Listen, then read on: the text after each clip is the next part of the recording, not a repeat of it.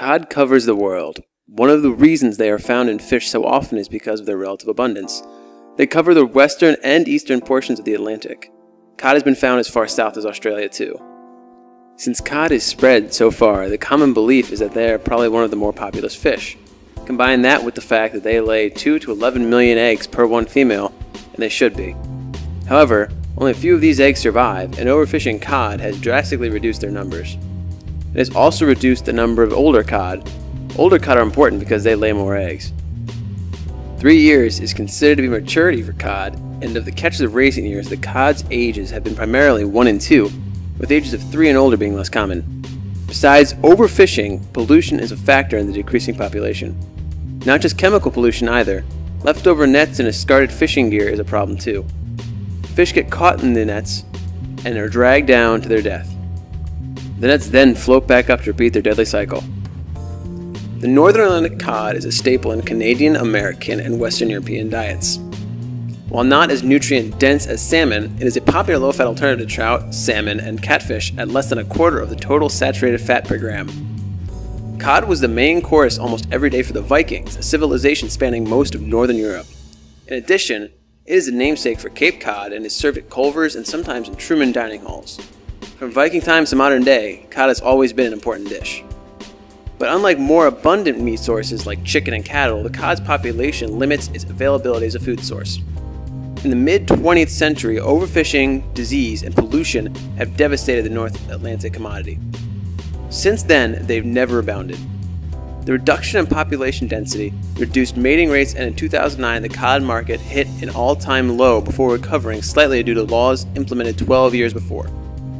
As a result, the price of this food source has gone up, to the point that many more people can't afford to eat cod.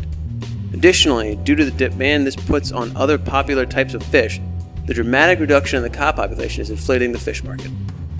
We believe that this food source can recover, and the key lies in how cod is affected in their fishery environment. Fisheries are essentially farms where fish originating from the ocean or lakes can breed and be harvested from man made tanks with a controlled environment.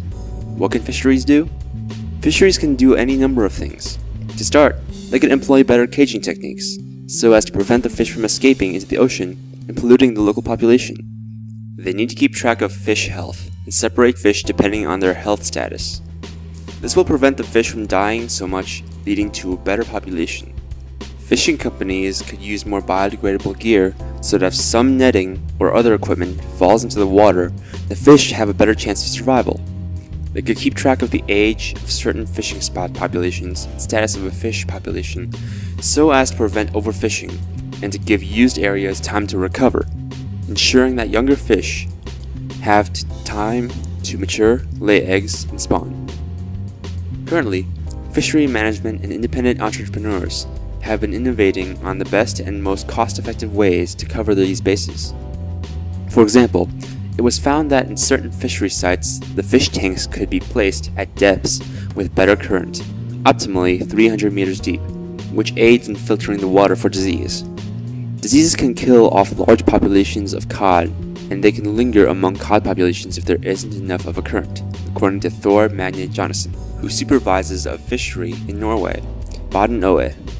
Fish disease can cause scales to rot away, boils, and other nasty symptoms that can cause death if not treated. Additionally, fisheries are stocking up on ways to take care of cod, including installing sand filters, biofilters, and UV sterilizers. Until then, there are temporary yet helpful solutions that can be made outside of fisheries. The Fisheries and Aquaculture Department of the United Nations has had legislation implemented regarding fishing and hatcheries, but they have yet to ratify a cod size lower boundary that would help the cod population recover.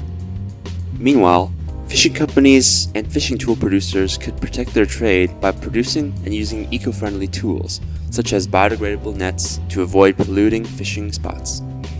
Net companies could make nets with bigger mesh to allow maturing cod to escape. As we wait for the cod population to recover, we, the average people, can help by being aware of our impact on the pollution of the Atlantic Ocean and the pressure of the fishing industry to overfish.